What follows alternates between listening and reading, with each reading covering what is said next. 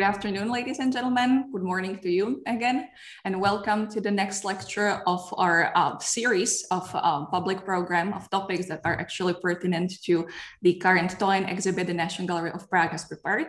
And I'm very happy to tell you that today we have the immense pleasure and honor of uh, having with us uh, Meghan Forbes, who was one of the scholars and experts who uh, who contributed immensely to the project and also to the catalog. So you uh, you can read her text on uh, Toyen's book production, and also uh, Meghan very kindly agreed to be available to your questions. So if you would uh, would like to know anything anything uh, further about the topic she will be covering today in her talk, pretty please listen closely and don't hesitate to let us know what you would we would like to you would like to hear from Meghan. So that's all from me. Meghan, it is yours. Thank you very much, Jitka. Thank you to Alana Stierbova for all your organization of this program, to Jitka Šosová for moderating today, and of course to Anna Pravdova and the full curatorial team for inviting me to participate in the exhibition as a catalog contributor and in today's lecture. I'd also just like to briefly say thanks to my friends and colleagues who have been such generous and generative interlocutors in discussing the material that I'll be presenting today. So since the 19th century, it was something of a rite of passage for Czech writers and artists to make the journey to Paris.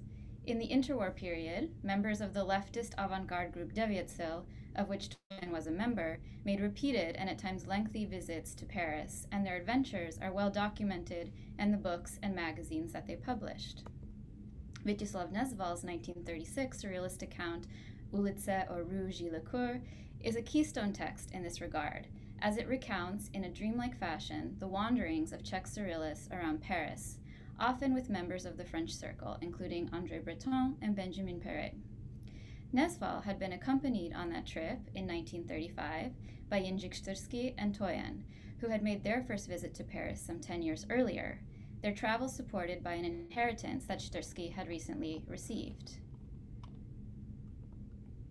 Earlier talks in this current series, hosted by the National Gallery in Prague, have extensively covered Toyen's interwar Parisian activities, including lectures by Anna Pravdova and Bertrand Schmidt.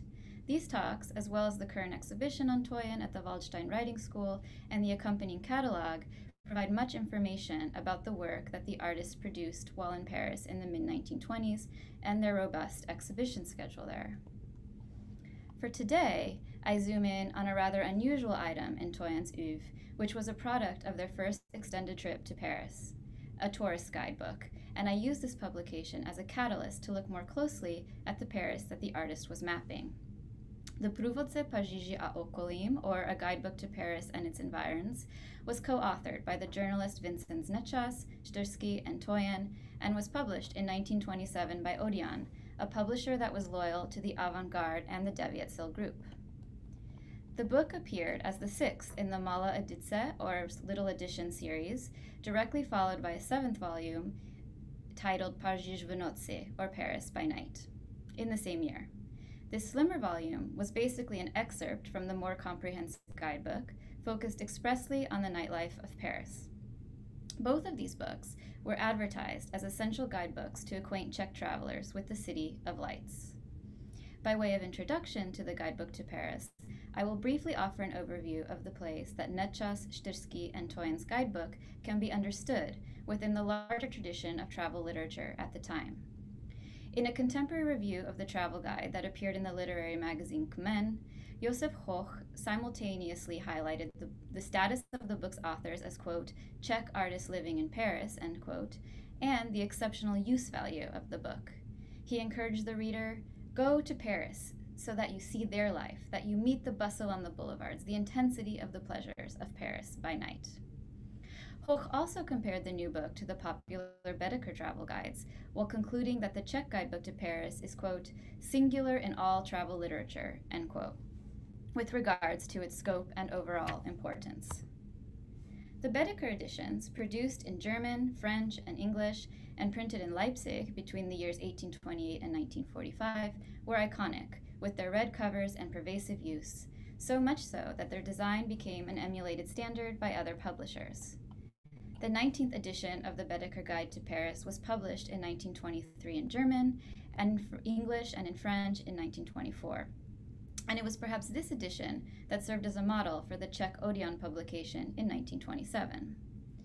When looking at a Baedeker guide alongside Nečas, Štyrský, and Toyen's travel guide, we can immediately see that they feature a similar red binding and format, though the Czech version is about twice as long.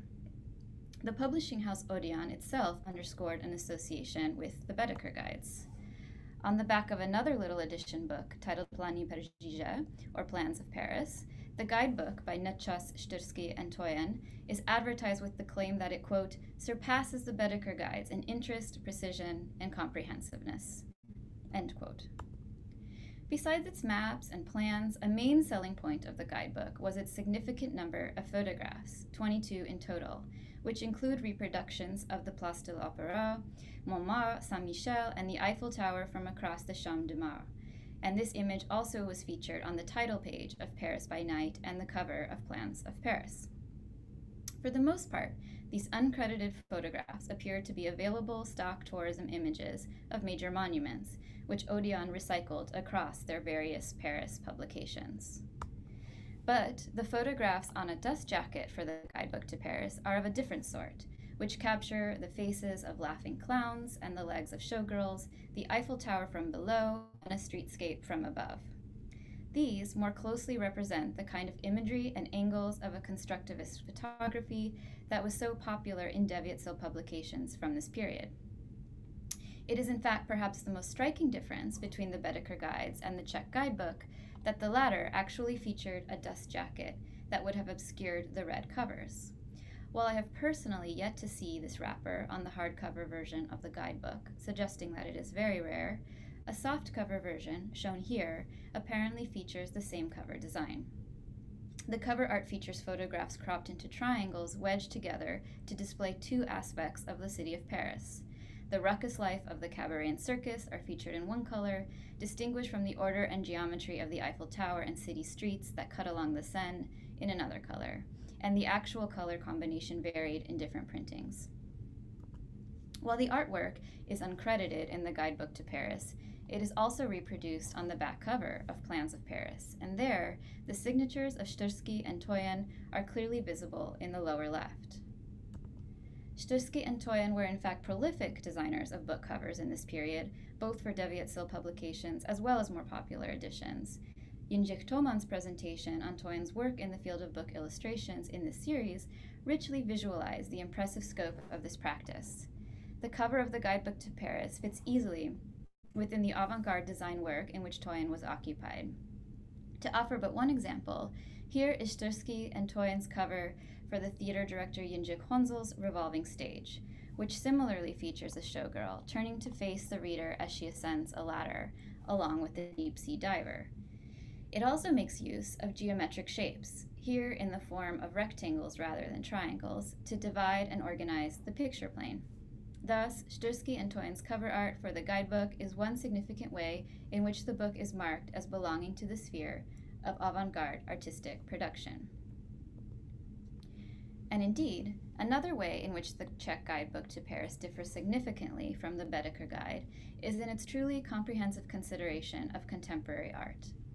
While the trio of Nečas, Štyrský, and Toyen compiled a volume of over 800 pages that provided the standard fare of train schedules, metro stations, museums, restaurants, and cafes, it also listed theaters and cinemas, studios and galleries, even the addresses of authors and artists, to which I'll return later. In comparison, the 1924 English language Baedeker edition to Paris offers only a cursory overview of art in an introductory, introductory section, briskly walking through French art from the Middle Ages to the 19th century. It then laments that the contemporary arts are in a crisis of style, quote, seeking inspiration here and there in the work of former periods and centuries, and handicapped by the standardization of articles made by machinery, end quote. A rather different analysis of the present day art world is preferred in the Czech guidebook, which elaborates extensively on ways in which the Czech tourist might access the living art and literary scene. Therefore, though the Guidebook to Paris and Paris by Night are not avant garde publications per se, they were, on the other hand, produced by members of the Czech avant garde. and thus almost surreptitiously exposed the middle class tourist to a more literary and artistic side of Paris than they might have been seeking. A close look at the guidebook, in comparison to other publications of Devětsil, as well as to works produced by members of an international artistic milieu, helps to answer the question what can a guidebook tell us about the avant garde sphere? It also helps us come to a better understanding of Toyen's day to day life in Paris in the 1920s in the absence of any real textual, any real textual evidence left by the artist. With the guidebook, the authors employed a form that they themselves may have used to first find their way around the city, and both worked within its standard form and transcended its typical expectations with their own publishing endeavor. So while the guidebook to Paris may appear on first glance to be a run of the mill tour guide in the Baedeker tradition with no real artistic merit, it in fact serves as a unique example of a project through which avant garde artists actually reached a larger audience beyond the rather small sphere of like minded colleagues and collaborators. The extremely comprehensive guidebook would be accessible to a Czech middle class audience with the means and ambition to travel. And while I've introduced the travel guide within the context of early 20th century tourism in Europe, I'll use the rest of my time today to discuss the ways in which it reveals the intersection of the Czech artistic milieu in the 1920s with a wider group of avant garde artists and writers living in Paris. And I offer a closer examination of what that city actually preferred its artistic visitors. In this way, the book offers up a fascinating insight into the lives lived by its authors while in Paris. This is an especially intriguing line of inquiry with regards to Toyen, as the travelogues are the only work attributed to them that are not directly linked to their role as an artist and illustrator, but rather as an author, working within an almost exclusively male cultural milieu. When we look at the red cover of the volume, it is notable that their adopted full name of Toyen appears out of alphabetical order between the last names of their co authors, as if to showcase their place within this project. Further, I consider the guidebook as a map of the artist Toyen's own wanderings through the city of Paris, read alongside their sketchbooks from the period. There are few accounts available regarding how a guidebook to Paris was assembled, but from a passage in Vítězslav Nezval's memoirs, we can surmise that Nečas, Štyrský, and Toyen worked individually to collect research for the publication. The poet recounts that it was Štyrský who divided up the day's work for researching and assembling the book's content. Nezval writes, Every morning, Štyrský would delegate tasks amongst his co authors, and in the evening typically receive them with great curses if they did not execute his plan. As we attempt to, re- to reconstruct in more detail Toyen's work as a collaborator on the guidebooks, their personal sketchbooks from the period serve as a site in which we can find documentation of the way in which they moved around Paris and the sites that they visited, and likewise better understand how this exposure to the city informed their artistic practice. Notably, in a small scrapbook compiled in January 1927, at the very beginning of the year in which the guidebook was published, pasted in tickets to the cinema and circus, together with sketches of a figure occupying these spaces alone, documents the person in relation to the city. They also take the metro, sit in a cafe, shoot target practice, walk city streets in the rain, and wait at the train station. There are short descriptive captions in French to accompany the illustrations, a rare instance of writing produced by Toyen in this period. These captions, which narrate the activities of the figure in each drawing, do not employ the feminine pronoun elle or she, but rather on, which is commonly used to indicate we in informal speech in French and typically translated as such, both in English and in Czech. However, its older and more standard usage corresponds to a nonspecific one in English, as in one should always do their homework. And on always and on always conjugates according to the third person singular, even if being used in the sense of we. Indeed, Amia Srinivasan proposed on last summer as a particularly flexible non binary pronoun in the London Review of Books in an extended review of Dennis Baron's What's Your Pronoun? Srinivasan wrote, quote, the French on, which is grammatically analogous to the English one, sexless and singular, but lacks its pretentious overtones and is commonly used, declines variously and thus more pleasingly. A reader, Simon Torresinta, responded that the delightful ability of on is even greater than Srinivasan suggests, precisely inasmuch as it is used as an informal alternative to nous or we. At any rate, in the case of Toyen's sketchbook, a close look at the illustrations themselves might cast doubt on an interpretation of on to mean we here, but can rather be understood as an indefinite singular pronoun, as the figure we find on nearly every page is decidedly not in communion with other people. The figure traverses the city always alone, save for the company of a cafe cat. The question of on and its usage in Toyen's sketchbook is relevant to raise here, as the life and work of Toyen asks us to think beyond binaries. In her essay, The Impossible Toyen, Malynne Sternstein writes critically of scholarship that has tried to inscribe Toyen's fluid performance of gender within, quote, an assumption that desire is not a continuum, but an either or, male or female, hetero or homosexual, end quote. Rather, we can find all these possibilities in Toyen's artistic practice and self presentation.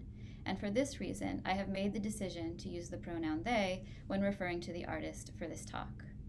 I'm at the same time cognizant of the fact that this does not reflect common parlance of the time, nor does it lend itself easily to translation into the Czech language, and also that Toyen's own positionality has so often been constructed through the words of others in ways that risk obfuscating the artist's representation on their own terms.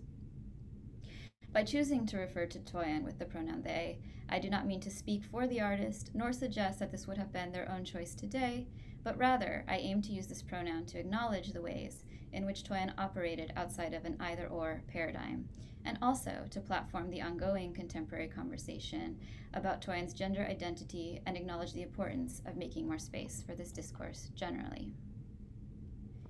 And anchored as this talk is in a consideration of the Paris the, that the artist mapped together with Nečas and Štyrský, it is also productive to consider the question of Toyen's own self fashioning within the context of gender play and more liberated approaches to sex and sexuality in Paris in the Roaring Twenties.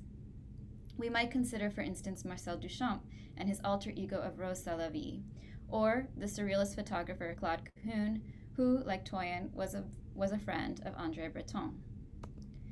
Gen Doy in Claude Cahun, A Sensual Politics of Photography, calls Cahun, quote, a female dandy, but also unclassifiable and indeterminate.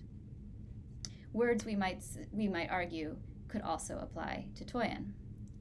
The author also notes that it was common in interwar France and elsewhere for women to play with new modes of dress, and that, quote, there were many overlapping and contradictory meanings of women with trousers, short hair, and cigarettes in the 1920s, encompassing bohemian and artistic lifestyles, refusal of gender roles, feminism, political radicalism, radicalism and upper class chic. End quote.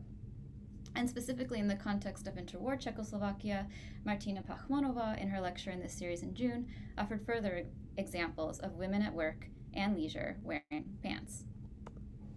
Claude Cahun's play with multiple identities in her iconic photographs offer an illustrative, but certainly not sole example of what was a particularly salient trope of the interwar period.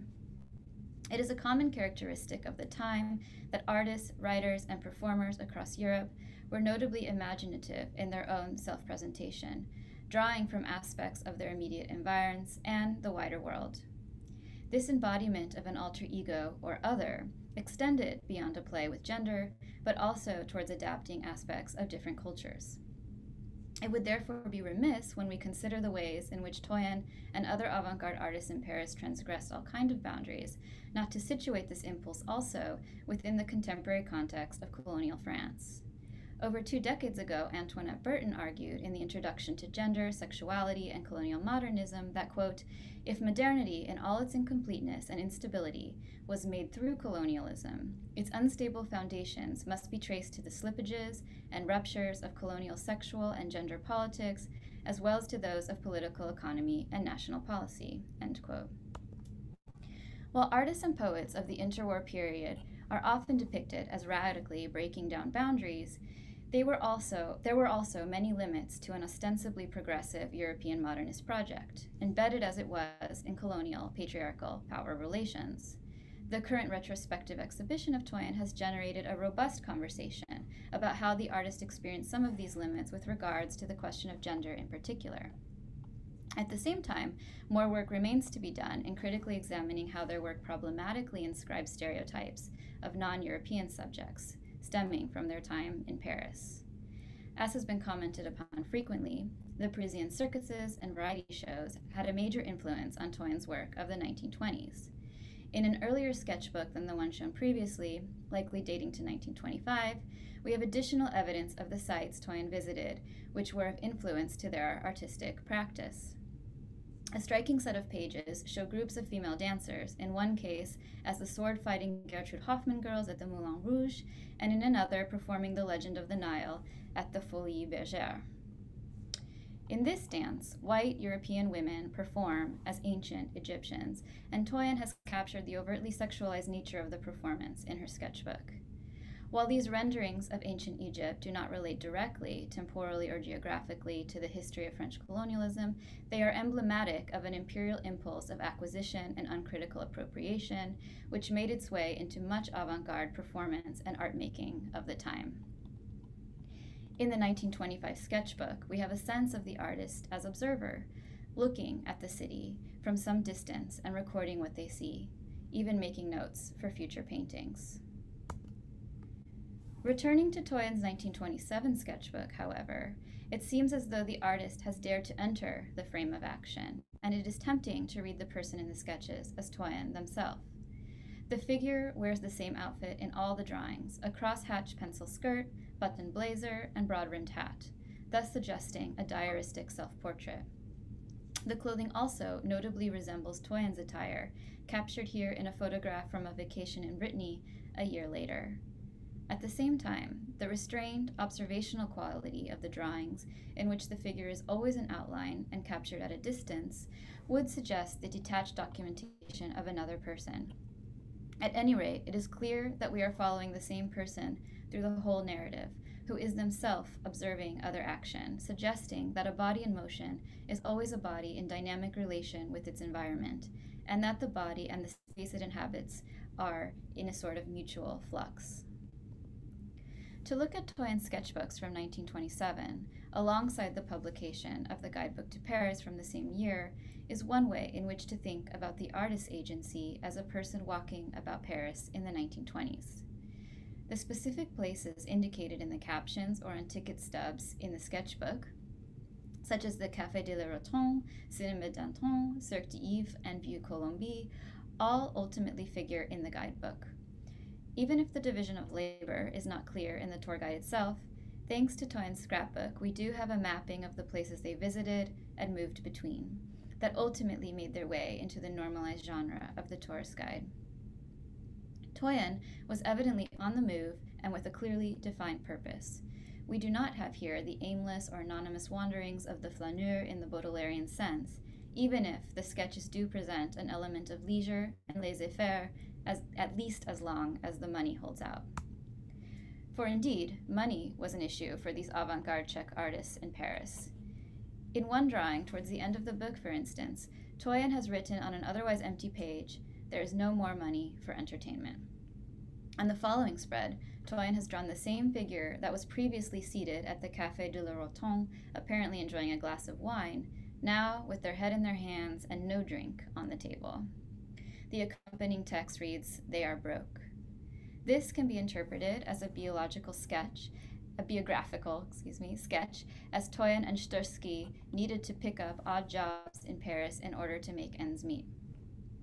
As Nezval described in his memoirs, quote, they tried to earn a few francs each day with various work, and washing dishes in a hotel was not the worst of the jobs that they took on. End quote. In a way, the guidebook itself might be considered one of these jobs, though I have not come across any documentation about the fee they received for compiling the book for Odeon. And apparently Nečas was in even more dire straits, as Štyrský and Toyen reported in a letter to Jindřich Honzl dated May 14, 1927, that their co-author had absconded from Paris, leaving a trail of debts behind him. Visits to the Café de la Rotonde, as they appear in Toyen's sketchbook, could perhaps have been justified as a business, business expense by the struggling artists.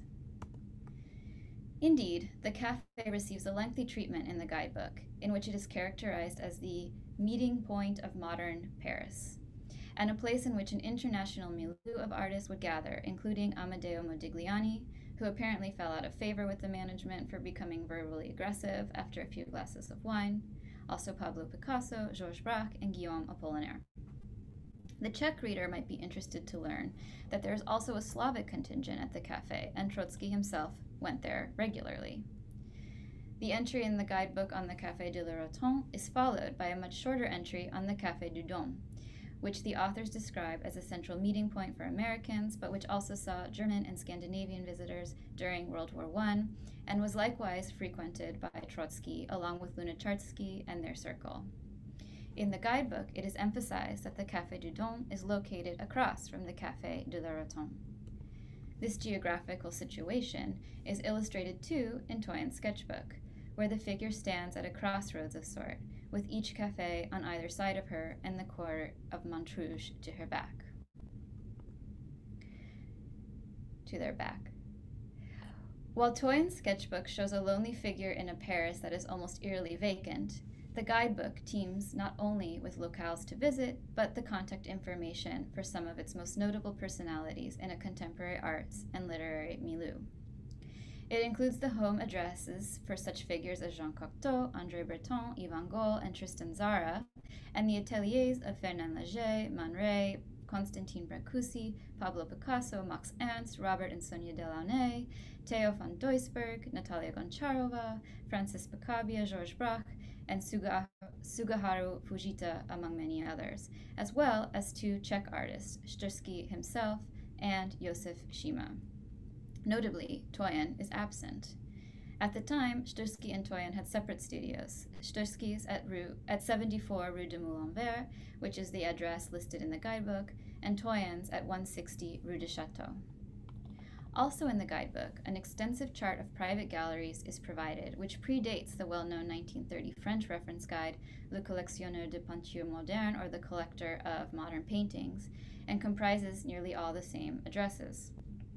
An introduction to the guidebook section on modern galleries makes the claim for, quote, Paris as the artistic center of the world, end quote, not for its museums and collections, which the authors note are also impressive in other places like London and New York, but for, quote, the atmosphere of the art market, from the sidewalk exhibitions of painting to private galleries and salons, end quote. More so than Toyen's 1927 sketchbook, then, the Guidebook to Paris offers a glimpse into the art world its authors inhabited while in Paris on this early trip together with, of course, documentation of their exhibition schedule, correspondence, and photographs, much of which is made visible in the current exhibition at the National Gallery in Prague. And while the guidebook is written in Czech for the Czech traveler, the scope of its engagement with an ostensibly international, albeit within the limited confines of an almost entirely European milieu, is a significant aspect of the book, and one that also conjures comparisons with the wider book production of other emigres and visitors to Paris in the interwar period. One notable example is Mina Loy's Lunar Baedeker, a volume of poems first published in 1923. British born but peripatetic poet, artist, and even gallerist, Loy, a feminist who was vocal about her fierce sexuality, spent much of the interwar period in Paris, arriving for her second extended trip in 1923 and staying until 1936, when she immigrated to New York. Though Loy is not one of the authors or artists that receives attention in the Guidebook to Paris, it is nevertheless interesting to consider it alongside the Lunar Baedeker. Loy's book of poems does not in any way aim to serve as a practical guidebook, and in fact, the title references a map of the moon rather than any urban, earthly setting. But while the lunar of the title suggests the more cosmic scope of these writings, the book also pointedly takes on the household name of the Baedeker Guides as a sort of shorthand to indicate that the poetic contents of the volume are grounded in the author's own earthly travels throughout Europe Latin America, and the United States, namely in New York. As Susan Rosenbaum, Rosenbaum has written, Loy's quote, Loy's Lunar Baedeker not only maps the temporal, geographic, and aesthetic relationships that defined her career, but breaks new aesthetic ground, ground that Loy figures as the landscape of the moon. In the opening poem, which bears the same name as the volume itself, the line, and immortality mildews in the museums of the moon, reflects a desire not to exist for all time, but rather, perhaps, beyond time, or at any rate outside of one's own time, with its constructs and constrictions on more pluralistic ways of being. Loy's poems map the author's perambulations as it muses on the self in relation to the body's physical environs and its intellectual interlocutors, lovers, and children. In an introduction to a compilation of Loy's poems published under the title The Lost Lunar Baedeker in 1996, Roger L. Conover asks a series of questions regarding Loy that, with some tweaking, might also be applied to Toyen. Did she know how precociously her language assailed the fortresses of gender? He asks. Did she lead the avant garde in adopting a guise of transgressive femininity as a masquerade? and how much control did she have over the publication of Lunar Baedeker? We might consider Loy's Lunar Baedeker, alongside Toyen's 1927 sketchbook and the Guidebook to Paris, as various strategies for mapping out an avant garde landscape, both in the public and private sphere, that enabled their authors to live outside certain to live out certain ambiguities and abstractions. The evident difficulty in situating a figure like Loy, as with Toyen today, points not only to the limits of an avant garde milieu in which they operated, but in our own language and thinking. Unlike the case of Loy, from whom we do have a legacy of her own words through which to understand her relationship to an avant garde artistic and literary scene, her own sexuality, and the urban spaces she occupied, with Toyen, there is a notable and highly significant dearth of words. This has allowed their story to largely be written by their contemporaries, and they have been given significant attention in memoirs of former Devětsil members written decades later. Even in the case of Loy, who did choose to write for herself, Conover notes that while she appears in dozens of biographies by figures such as Ernest Hemingway, Ezra Pound, Gertrude Stein, and William Carlos Williams, quote, in memoir after modernist memoir, she has been granted a forceful personality, a cerebral bearing, a perfect complexion, a sexual body, but not a voice. End quote. The situation is similar in the case of Toyen, and I will close with a notable example from Rue Gît-le-Cœur, Nezval's travelogue that I mentioned at the outset of his 1935 trip to Paris with Štyrský and Toyen. In one scene in the book, Toyen fades away almost quickly as she appears.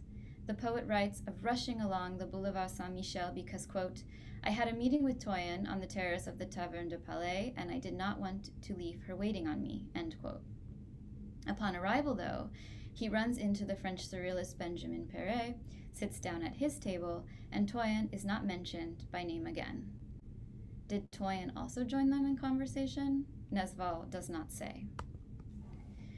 Rather than reading Toyen between the lines of the writings of Nezval, Seifert, and others, I rather look to the works that bear Toyen's own name in order to glimpse their story on their terms. And I pose an open question in closing. How would Toyen have written themselves had they chosen to do so? Or, considering that they opted not to, how can we more fully turn to their paintings and illustrations, sketchbooks, and even the Paris Guidebook to form an understanding of their self presentation and the ways in which they flirted with notions of the other as their mode as an artist and way of operating in the world? What can the public object of the guidebook and the private artifact of the 1927 sketchbook tell us about Toyen's personal experience of Paris? I would propose we continue to look at these items more closely to form a fuller picture of the artist that does not look away from the more problematic, ambiguous, and uncertain aspects of their oeuvre while maintaining a focus on their practice and production. Thank you. Well, thank you, Meghan, for your wonderful talk. I have to admit, it certainly shed a lot of light for me on so far very little known aspect of Toyen's work. And if you don't mind, I have prepared a couple of questions because I'm genuinely curious. So I would I would love to know. Uh, well, I was actually wondering the most about the historical context because we are talking about 1920s.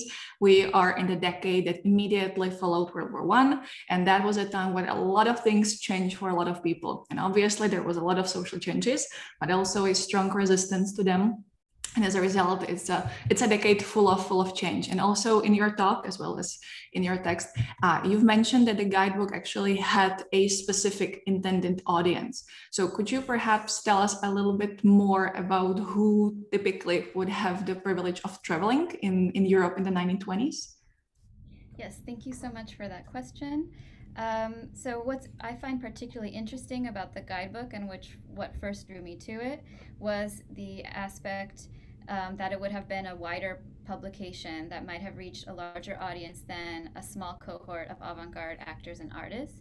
Um, the Devětsil publications, which were, of course, very leftist leaning and progressive and imagining a new world and radical social change um, and aiming to meet a sort of um, large population kind of in their homes and on the street, um, were in reality, I think, uh, talking more to themselves and to a broader international avant garde milieu. So, the ways in which the magazines that Devětsil published were circulated internationally is very interesting to look at. The way they signaled um, their alignment, for example, with what was happening in Germany and elsewhere uh, through a visual language um, is very interesting uh, because most of the publications were, of course, in Czech, and that was not a language accessible to their colleagues abroad.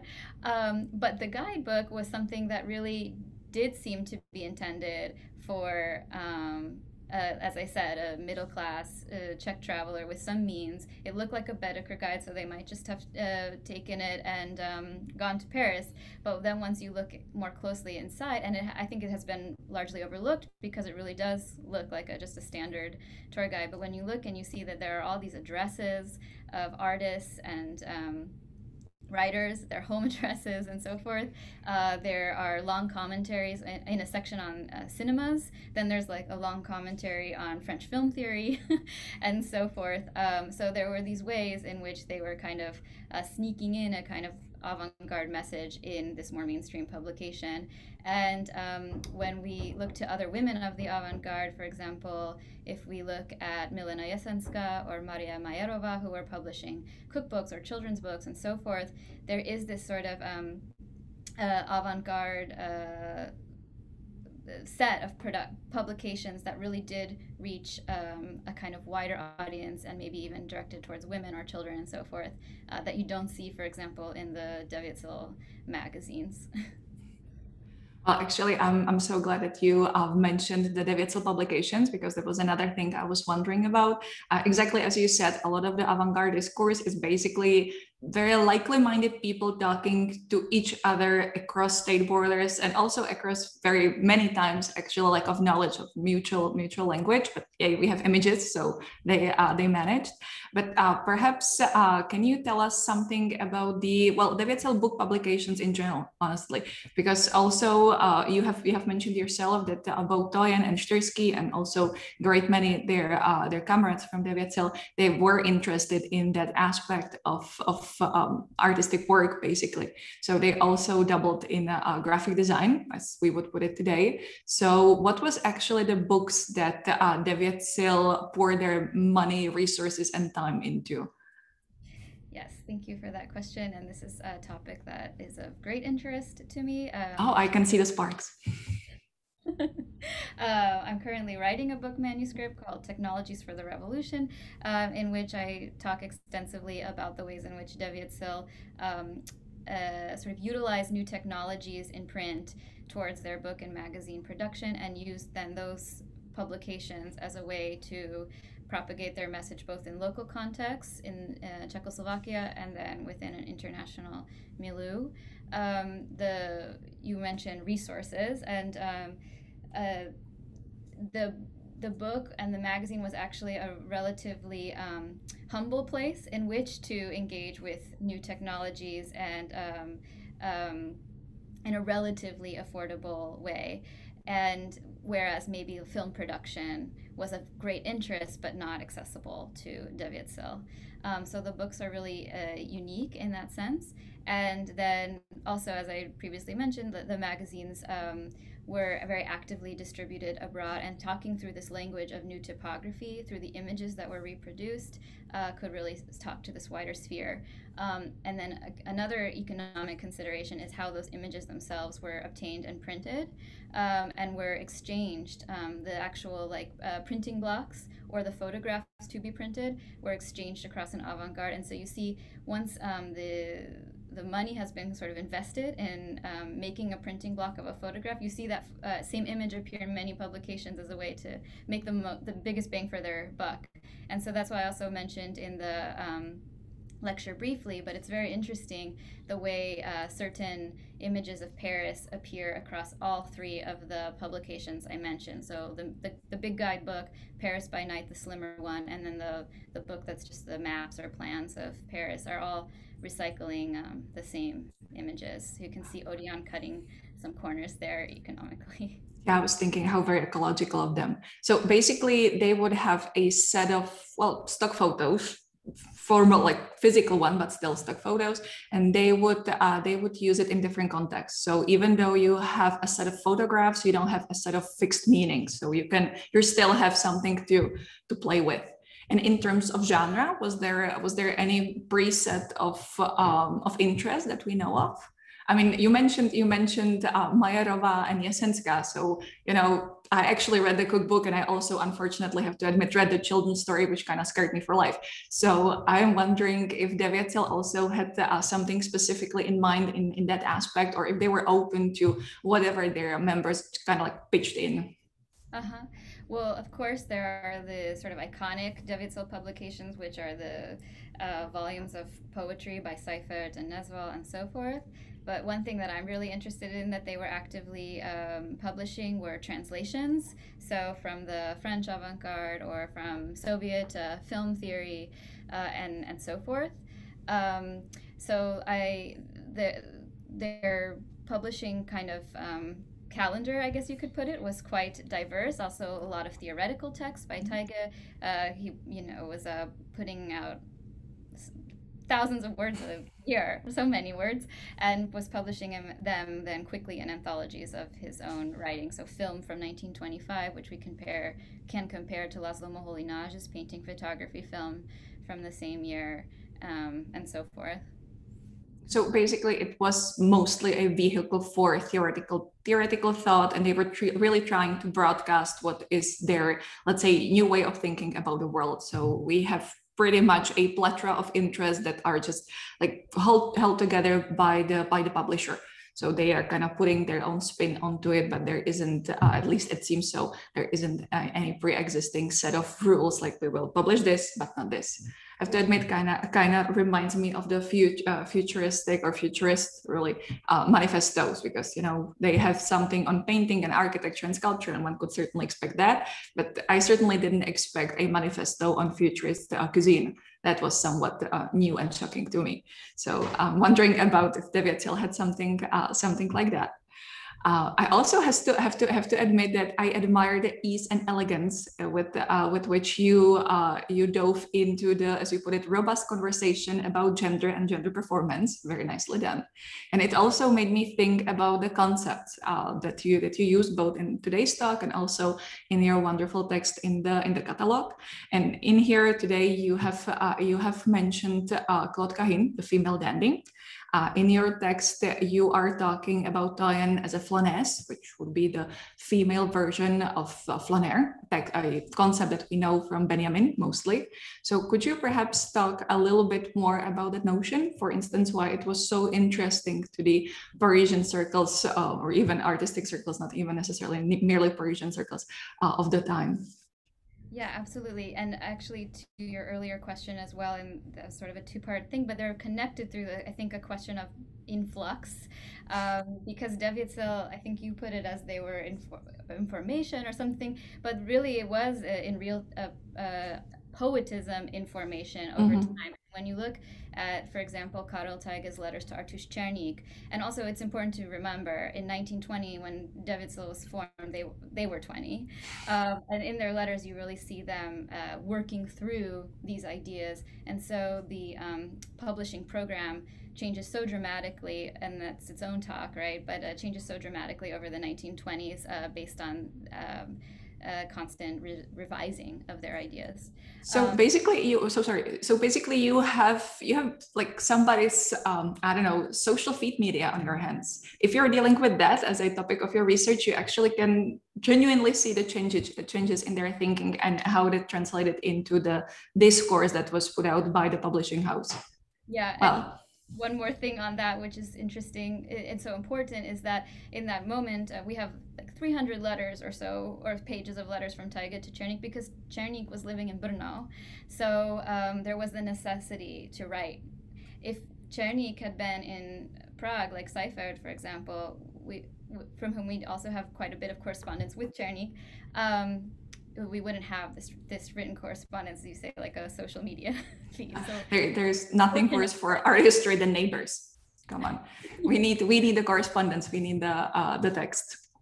But so sorry i have uh, i've interrupted you please continue no absolutely um, to your to your other um, question about uh, Toyen as flaneuse, as I raise it in the um, in my catalog essay and have since sort of revised my my own thinking.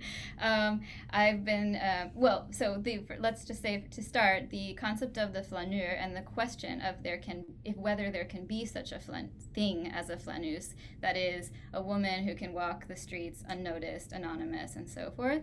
Um, that kind of preoccupied me from the beginning of my looking at um, guidebook, you know, that she created with uh, Nečas and Štyrský. And then uh, when I saw her sketchbooks, that question was even more um, pre- present for me. Um, and it seems that in those 1927 sketchbooks, the the figure in each of those images has s- sort of managed to escape the gaze or the male gaze, or um, is is uh, unobserved, but precisely because they are all alone.